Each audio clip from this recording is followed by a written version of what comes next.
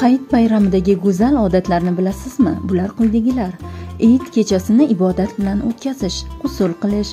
Ibn abbos roziyallohu anhudan rivoyat qilinishicha rasululloh sollallohu alayhi vasallam fitr kuni g'usul qilar ekanlar. Tishlarni toza tutish. Tishni toza tutishga islom dinichalik e'tibor bergan birorta din yo'qki hayit namozi uchun esa bu narsa yanada muhimdir.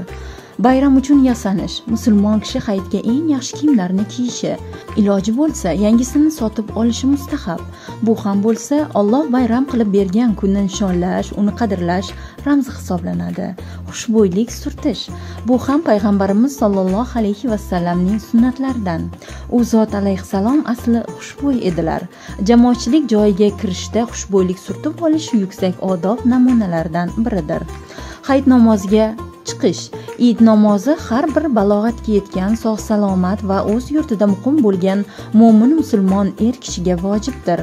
U hayit kungi eng asosiy muhim amal hisoblanadi. Xonadonda bayram qilish hayit kunlari oila ichida bayram kayfiyatini tiklash kerak. Uyga qilinadigan xarajatlarni odatdagidan yaxshiroq qilish lozim. Qarindosh urug' qo'ni qo'shni beva bechoralarga xursandchilik ulashish. Aziz birodarim hayit ayyomi muborak bo'lsin.